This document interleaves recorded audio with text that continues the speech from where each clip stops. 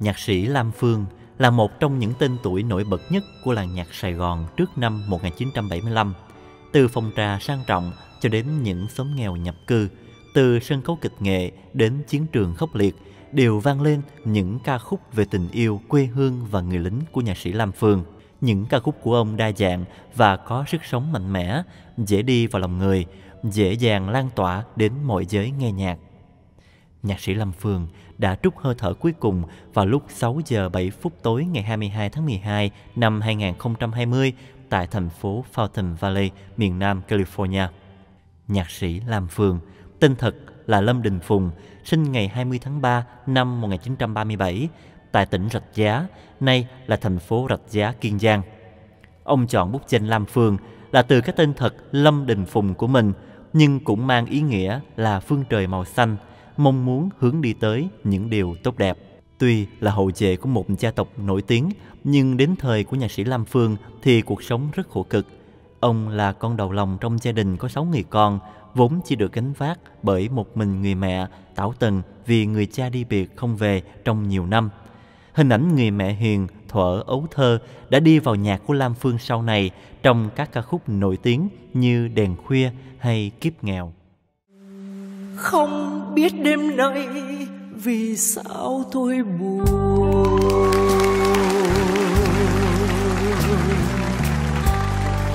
Buồn vì trời mưa hay bão trong tim.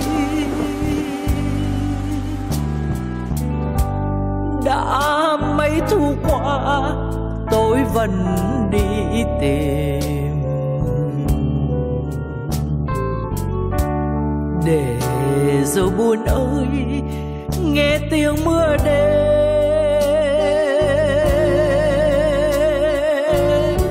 Khi bước chân đi lần trong cuộc đời. Lời mẹ hiền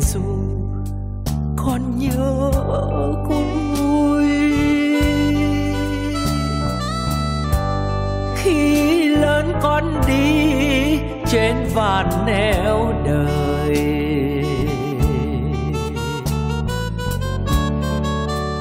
Đừng buồn khi lúc tay còn trắng tay. Mưa ơi mưa ơi con nhớ thương hồi. Nhớ khi mẹ lõ xóm chiều nhớ nụ cười khi nâng niu. Đôi tay run run, ánh mắt dịu hiền, biết tìm lại chốn nào. Mẹ ơi, biết chăng đêm về quanh nghe tiếng mưa rơi mà nhớ thương nhiều. Đường về đèn khuya, in bóng cô liêu. Ai biết đêm nay tôi vẫn mong chờ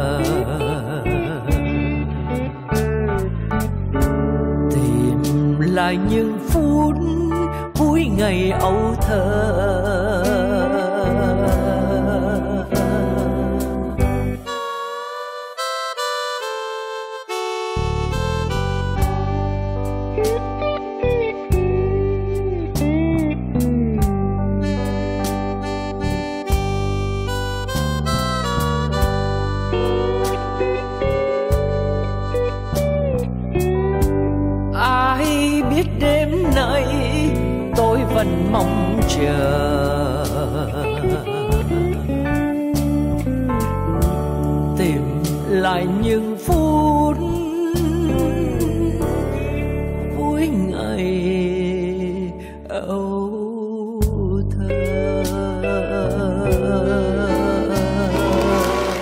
Phương theo học người thầy vô danh từ những nốt nhạc đầu tiên với tài liệu học chính là những tờ nhạc bài hát của những nhạc sĩ thành danh thời tiền chiến như nhạc sĩ Phạm Duy, nhạc sĩ Lê Thường.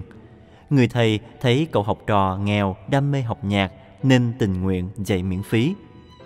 Đến đầu những năm 1950, nhạc sĩ Lam Phương may mắn gặp nhạc sĩ Hoàng Lan khi đó mới 20 tuổi và người nhạc sĩ này đã khơi nguồn cảm xúc âm nhạc cho nhạc sĩ Lam Phương, giúp cho ông hình thành những giai điệu đầu tiên trong sáng tác đầu tay của mình mang tên Chiều Thu ấy ngay từ năm 1950 khi nhạc sĩ Lam Phương vẫn còn là một cậu bé mới có 13 tuổi. Đó là một ca khúc nói về chuyện tình gian dở, có giai điệu phản phất cái à, chất của dòng nhạc tiền chiến. Hai năm sau, nhạc sĩ Lam Phương quyết định tự in và phát hành vào năm 1952. Là một bài hát ít người, ít người hát, yeah. thành ra ít khen đã biết. À. Nhưng mà đối với Chúa thì bài nào Chúa cũng thương nhau. Dù đó là một bài không ra tiếng. Đó là bài nhạc ừ, Chiều Tối ấy. Chiều Tối ấy. Yeah. Ngày xưa là John Vitin cả nổi tiếng hát đó là những ca sĩ phú chiều thu ấy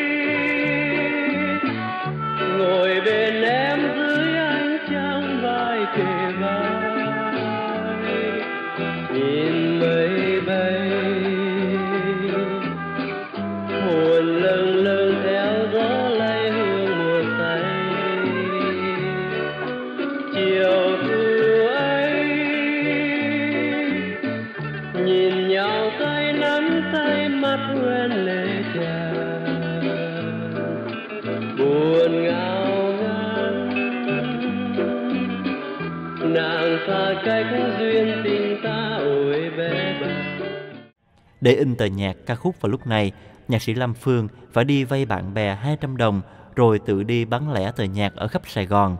Nhưng lúc đó chưa ai biết đến tên tuổi của Lam Phương nên không thể bán được. Phi vụ in tờ nhạc đầu tay vì niềm đam mê này đã làm cho ông phải ôm món nợ của người bạn là 200 đồng. Thời gian này, nhạc sĩ Lam Phương lại đi làm thuê để kiếm tiền trả nợ, rồi sáng tác và vay tiền in nhạc. Số nợ to dần lên đỉnh điểm là 600 đồng. Số tiền nợ này chỉ được trả hết vào năm 1954 khi nhạc sĩ Lam Phương thành công với ca khúc Khúc ca ngày mùa và Trăng Thanh Bình, được hầu hết các trường học ở vùng đồng bằng sông Cửu Long chọn để dạy cho học trò ca múa. Bài hát đã vén bức màn để đưa tên tuổi của Lam Phương ra ánh sáng trước công chúng.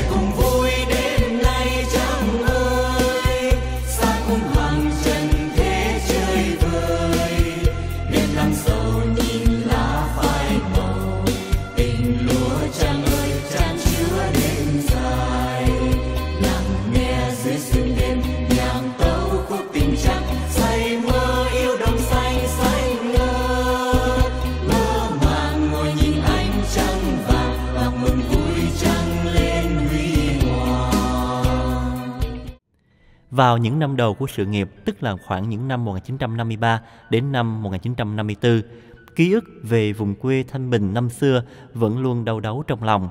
Nhạc sĩ Lâm Phương đã sáng tác hàng loạt những ca khúc về quê hương với sự khuyến khích của nhạc sĩ Phạm Duy và sự hướng dẫn thêm từ nhạc sĩ Lê Thương trong các ca khúc khúc ca ngày mùa, trăng thanh bình vân đó vân. là giai đoạn đầu đó. Dạ, dạ, đoạn đầu. nè lúc đó trong à, tâm hồn còn, còn trong trắng. Chiều giống mà bây đời. Dạ, là lúc đó bác biết yêu chưa? lúc mà sáng tác. chưa là đâu có trẻ lắm. Mới 15 tuổi mà yêu ai? Gì đó 15 tuổi mà đã bác đã sáng tác những bài hát mà rất được đậm đà tình quê. đúng. Kìa thôn quê dưới trăng vàng ngát ánh trăng thanh chiếu qua làng xưa xa. Yêu hồn quê bao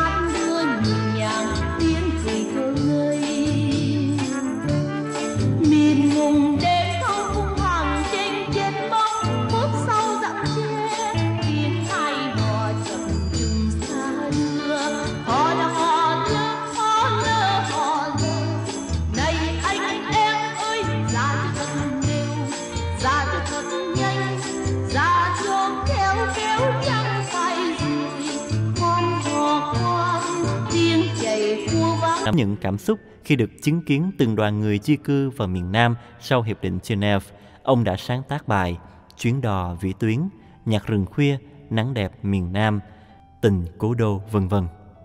Những ca khúc này đều trở nên nổi tiếng và được yêu thích cho đến ngày hôm Thì, nay. à, chưa từng đi Hà Nội bao giờ chỉ đóng mà tới bên Hải trở vô thôi nhưng mà theo tôi biết nghệ sĩ tông hồn nghệ sĩ á xây sau trước thời cổ bớt cái cảnh nào chú cũng giật mình chú vô là con người chú sẽ viết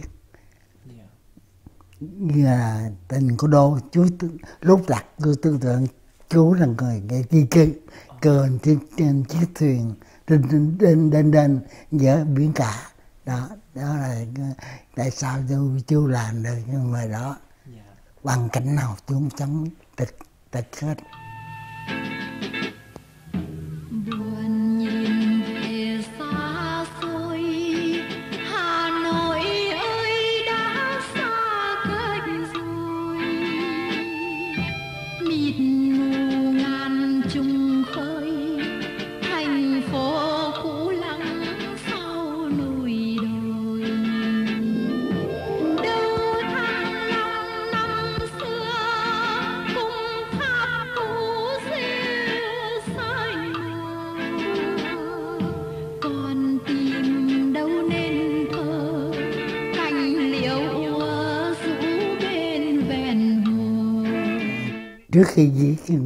nói chung cũng phải hỏi những người à, vô làm từ miền Bắc thì những người đó hiểu rõ hoàn cảnh người di cư thế nào. Dạ. Thì nhờ những cái tin tức đó mà chú phải chia ra cái bài đó. Cũng trong thời gian này, ông đã sáng tác ca khúc Kiếp Nghèo và ca khúc đã đưa tên tuổi của Lam Phương lên một tầm cao mới trong làng nhạc. Nhờ ăn khách và bán rất chạy, ca khúc Kiếp Nghèo thực sự đã giúp tác giả thoát xa cảnh nghèo. à, kiếm nghèo Kiếp cái kêu đúng là được đầu nhưng mà sao không những bài chú vì nói đó Dạ. thì có thể nói là một bài nhạc chú sáng tác trong cảnh cảnh trắc thật thật của đời chú Dạ. lúc đó thì nhà nghèo đón chạy Dạ. à, và chú lúc mà chú học ừ, những cái năm đầu có có tin tin, tin là trung học năm đầu thôi Dạ. và học và thi học nhà học trong cảnh nước thiếu tướng gì chi chi cái đó mà chú rang đặt nhạc để kiếm tiền để mà đi học tiếp Dạ, là bác uh, sáng tác những cái bài hát như kiếp nghèo là trong cái uh, gia cảnh cũng khó khăn lúc À. đó nhưng mà lại không ngờ kiếp nghèo lại giúp bác giàu phải không? Đỡ thôi. đâu có nhăn Thở- để thở thôi Dễ thở thôi. Dạ. Năm 1958, khi được 21 tuổi, nhạc sĩ Lâm Phương vào quân ngũ và những ca khúc nói về tâm trạng người lính của nhạc sĩ Lâm Phương có thể kể đến là Chiều hành quân, Bức tâm thư, Tình anh lính chiến, Một chiều hành quân qua thôn xưa Lúc nắng xuân chưa nhạt màu Chạnh lòng tìm người em gái cũ Em tôi đã đi phương nào nghẹn ngào nhìn qua hang tre xanh, ngắm bóng chim đua trên cành. Giờ còn tìm đâu hình bóng cũ, em ơi, em về đâu?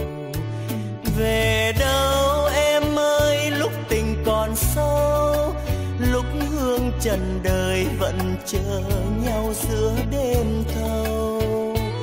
Về đâu khi em vẫn là nguồn sống? Khi ánh xuân nồng nhẹ nhàng vươn lên má hồng. Hẹn nhau qua hết một mùa phượng rơi nhưng hoa chưa tàn mà lòng ai đã đổi thay. Thế thôi vui chỉ sống trong tình đầu. Nhạc chiều hành quân, nay biết gợi về đâu. Để rồi một năm nơi biên cương dân bước thân trên xa trường. Ngày thì tìm vui bên chiếc xuân khi đêm anh vui với đàn. Dù mộng tàn phai trong thương đau vẫn nhớ mãi duyên ban đầu. Lời thề ngày xưa đã chót hứa em ơi xin đừng quên. Trong quân ngũ, nhạc sĩ Lâm Phương đã gia nhập đoàn văn nghệ Bảo An. Khi đoàn này giải tán, ông tham gia ban văn nghệ Hoa Tình Thương và sau cùng là biệt đoàn văn nghệ Trung ương cho đến năm 1975. Năm 1959, nhạc sĩ Lâm Phương đã lập gia đình với nữ kịch sĩ Thúy Hồng. Ông đã sáng tác ca khúc Ngày Hạnh Phúc để mừng cho ngày vui của lứa đôi của chính mình và ca khúc đã trở thành nhạc hiệu chương trình Gia binh của Đài Phát thanh Quân đội phát vào mỗi buổi sáng sớm trong suốt thập niên 1960. Từ thập niên 60, nhạc sĩ Lâm Phương viết rất nhiều bản nhạc nổi tiếng, mang lại cho ông rất nhiều cả về danh tiếng lẫn tiền bạc. Đặc biệt, chỉ một ca khúc Thành phố buồn đã mang đến cho ông số tiền là 12 triệu đồng, một con số rất lớn vào thời điểm đó, bằng với thu nhập trong 20 năm của một vị đại tá trong quân đội Việt Nam Cộng Hòa. Nếu tính ra số tiền Mỹ Kim thời đó, thì đây là bài hát có giá trị gần nửa triệu đô la, một con số quá lớn đối với một bài hát. đó là trong ờ, thời gian chú ở trong quân đội á thì um, trong ngôi nhà mà chú đi tên là hoài tình thương. À, chứ đó cái hôm đó tôi công tác ở ngoài à, miền trung là rõ ràng là anh à, tại- ở Đà Lạt. Thì một cái chiều đó à, khoảng sáu giờ tất cả anh em đi ăn cơm Dạ. Trên cương chiều mình xuống trình đói ở lại, ngồi trên căn nhà đó, trên đường cao á, và nhìn lại phía sau là một cái thung lũng. Để có kia có một cái nhà nó chiều họ đốt đó cái chứ nhìn cái cái cái nhìn cái cảnh đó, tôi xúc cảm tôi làm được cả thành ra thành ra buồn, từ đó mà ra. nhớ. Nhưng mà tờ bài đó không không có muốn đợi nữa nó. Có chú làm thôi. Nhưng mà tới là tưởng tượng thêm vô. Cho ra cho nó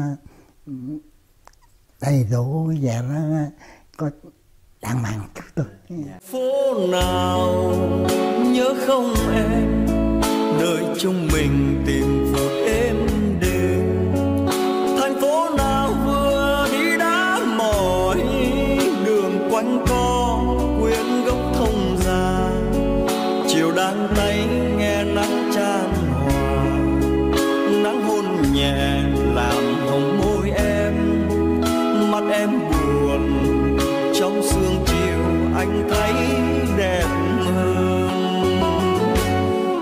một sớm nào.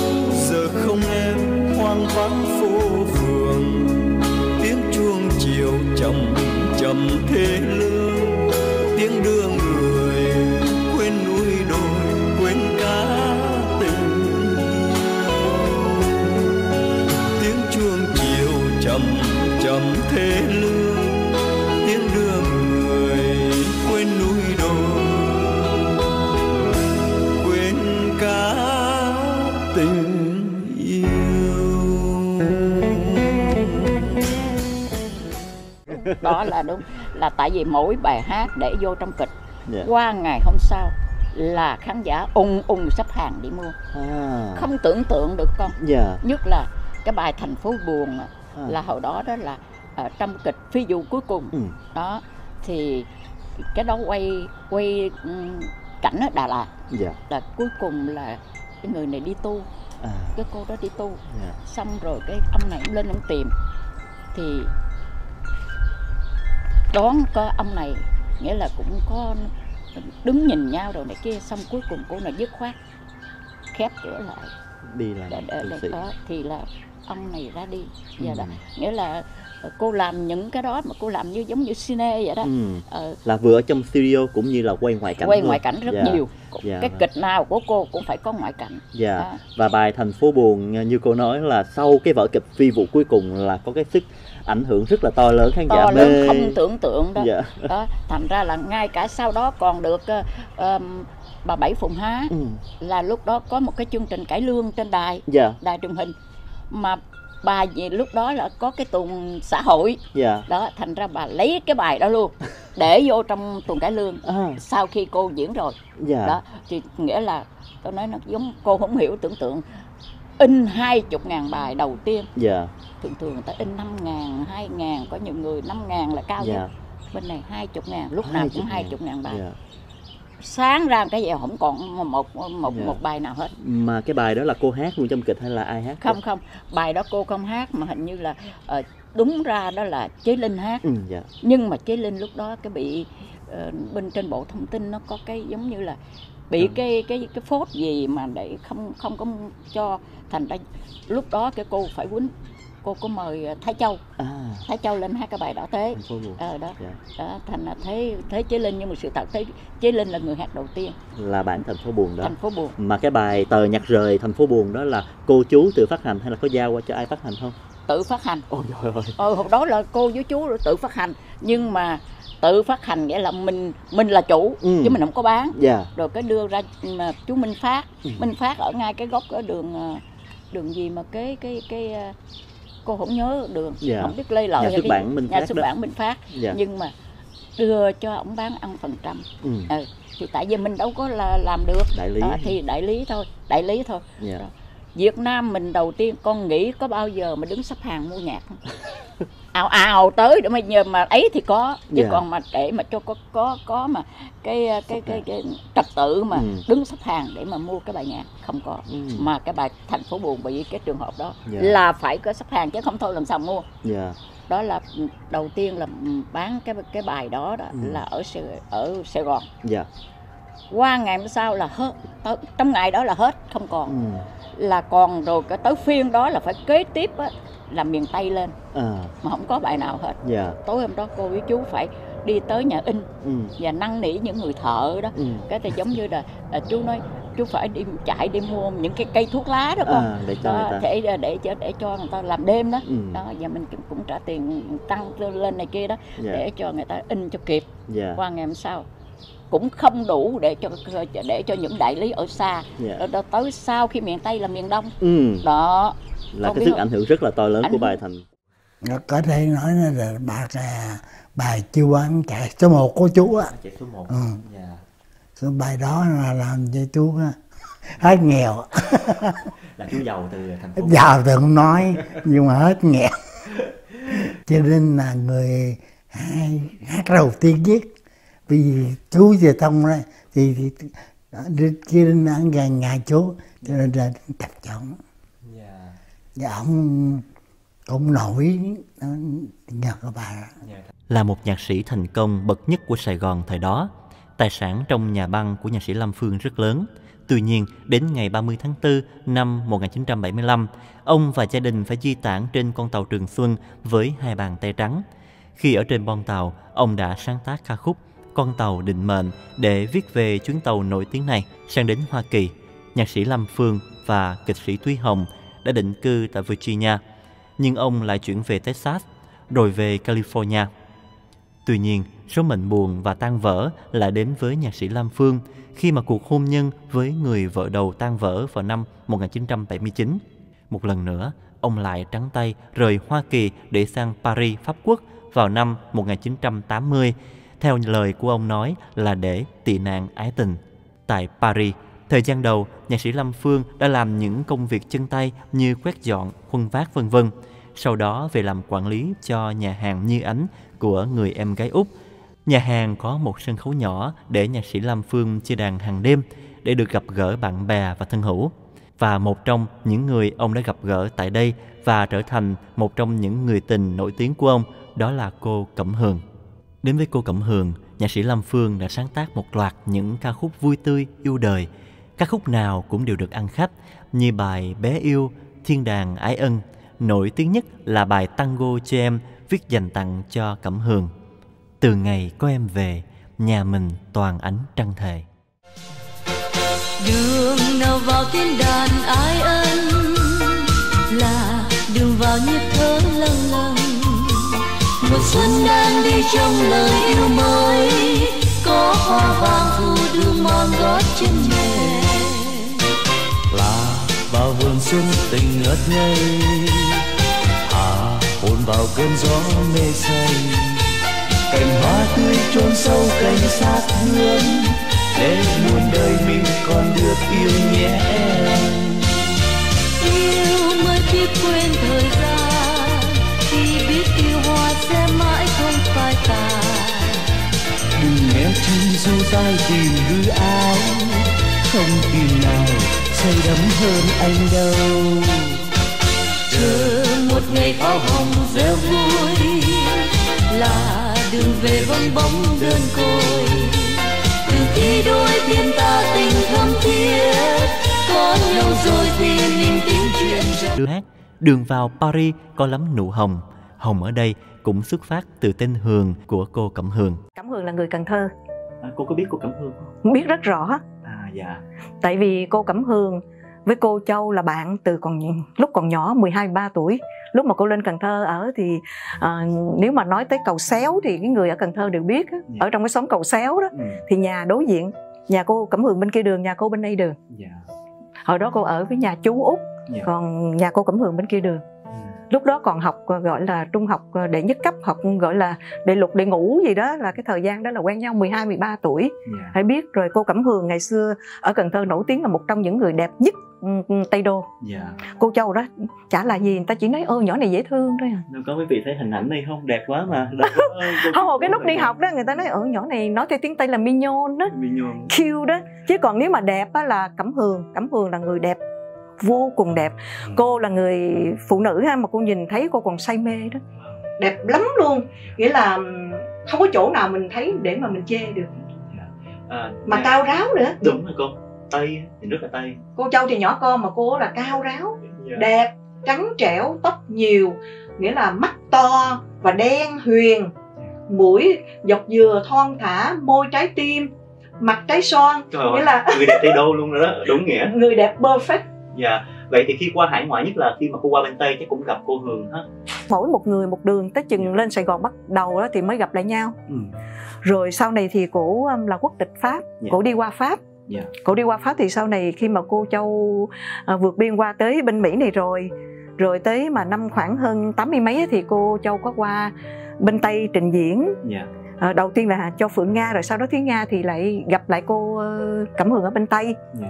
Thì thời gian đó là cái thời gian mà nhạc sĩ Lam Phương cũng bỏ Mỹ mà qua bên Tây thì gặp cô Cẩm Hường. Dạ. Thì thời gian đó cô qua bên đó thì lúc đó Hương Lan vẫn còn ở bên Tây. Dạ ok.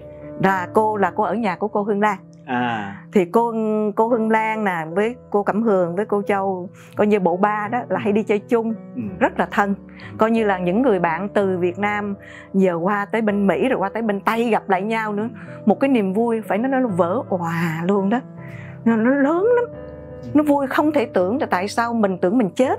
Tại vì khi đi vượt biên là mình tưởng mình chết trên biển rồi rồi mấy người kia thì đi máy bay may mắn hơn mình. Nhưng mà rồi bây giờ cuối cùng lúc mà ờ, cẩm hường đi rồi rồi đó tới lúc mà cô đưa cô hương lan đi tây rồi đó nghĩ biết bao giờ mới gặp lại nhau. À. ủa vậy lúc đó là cô hương lan đi trước cô? Đi trước luôn. Dạ. Cô cẩm hường thì là dân tây là đi đi trước rồi. Cổ làm cổ đi trước năm 75 rồi nhưng mà sau đó cổ khoảng gần 75 74 đó trước ngày mất nước cổ trở về để rước gia đình cổ thì cổ kẹt lại nhưng cổ dân tây đi lúc nào cũng được hết. Hương lan cũng là dân tây thì sau này hương lan mới đi. Dạ. Thì lúc đó cô còn kẹt lại việt nam. Rất buồn bạn bè đi hết. Thì không bao giờ nghĩ là sẽ gặp lại hai người đó. Dạ. Nhưng mà rồi mà có lẽ hai người đó và một số người bạn bỏ ra đi vượt biên cũng là động lực để giúp cho cô châu quyết định đi. quyết định ra đi rồi mấy người đó cũng không ngờ đâu một hai năm sau thấy bà qua tới mỹ rồi. À, rồi lại qua tây nữa hát bên đó. Qua tay hát là lúc đó niềm vui nó nghĩa là nó vô tận. Dạ. Cho nên ờ, bây giờ mới có dịp biết là um, chiều tây đô là viết cho cô cẩm hường. Cô nghĩ là viết cho cô cẩm hường và những người ở miền tây. Dạ trong đó có cô. À, cô hy vọng. Um, và à, cô cẩm hường bây giờ thế nào cô? Ờ, cô cẩm hường đã qua đời mấy năm rồi. Dạ. Bạn. Cô đã bị ờ, stroke tin cũng rất buồn nếu mà nói ngoài đời á, thì về cái đời thường không phải trong văn nghệ á, thì một trong những người bạn mà thân nhất là cô Cẩm Hường cô cũng có rất là nhiều người bạn thân ừ. trong ngành mà còn ở Việt Nam như là cô Tú Trinh à, dạ. là một kịch sĩ một cái người có tiếng nói mà hay nhất ừm, Việt Nam từ trước tới giờ cũng là một người bạn rất là thân dạ. và bên cạnh đó thì có cô cẩm hường cô Cẩm Hường là bạn ngoài đời cổ nghĩa là cổ thì có duyên với văn nghệ nhưng mà cũng như là cổ quen với nhạc sĩ Lam Phương. Dạ. chứ còn cổ không có đi hát.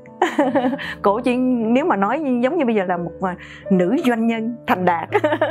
À, và cũng nhờ cô cẩm hường mà chúng ta có nhiều ca khúc hay của nhạc sĩ lam phương cô hả? Đúng. Ngày em đến mang thêm mùa xuân đôi tám đời chưa đêm trang bằng nét yêu làn mi ướt mắt nai tròn xoe ngơ ngác. Bé ơi nhìn em anh ngẩn ngơ. Và anh viết cho em bài ca mơ ước. Dù mơ ước chỉ là ước mơ. Rồi đêm tối giang em về gây thương nhớ. Nhớ thương làm anh chết trong mong chờ em ơi, phải chăng chuyện ngày xưa mình giấu chặt trong tim để tránh xa trời dòng bão? Hôm nay giấc mơ nào đưa anh đến vùng trời đầy yêu thương và mang mát vấn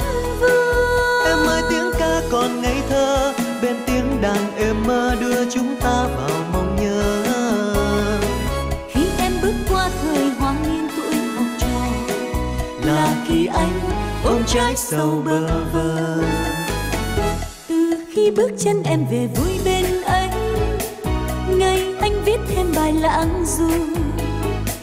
Ôi trinh nữ tóc mây huyền bay theo gió Biết em còn hồng khi chiều đưa. Đời mây trước đêm mây thành cơn sông tới mười năm khúc sao trời đổi ngôi hát âu thơ ngày xa xưa đó. Bé ơi, tình anh xót xa muôn đời.